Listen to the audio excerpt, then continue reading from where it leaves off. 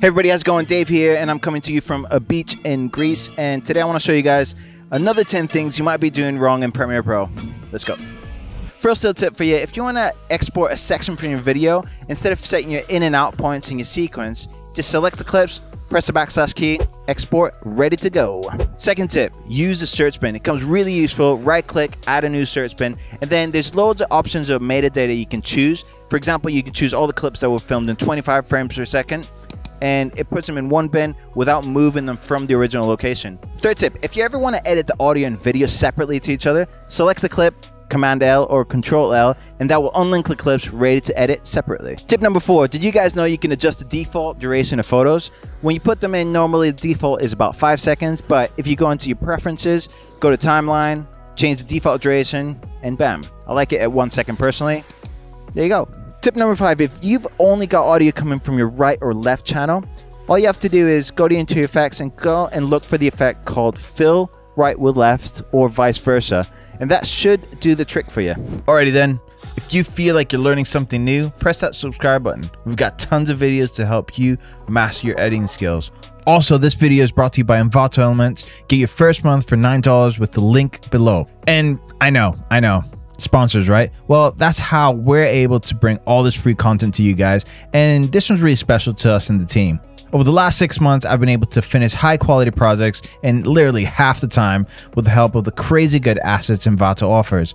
Over 9 million, in fact, that go through rigorous testing before they become available on the site. And while you're there, check out the CRT pack the Olufemii team has put together. So good. Okay, let's have some more tips. Tip number six if Premiere is running slow, one of the things you can do is clear your cache files. Cache files are great when you're working on projects because it just loads the project files faster, but once you're done with the project, just clear them. Tip number seven, have you ever moved or resized a clip, video, text layer, graphic, and you want it to go back to its original form? Well, in that case, just use the reset arrows. They come in in clutch, especially when you need to do keyframes.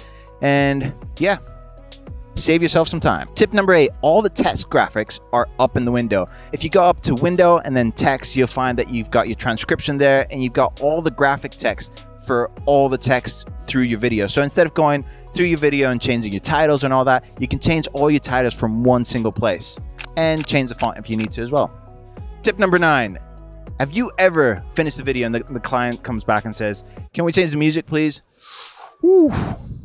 I know you've been there.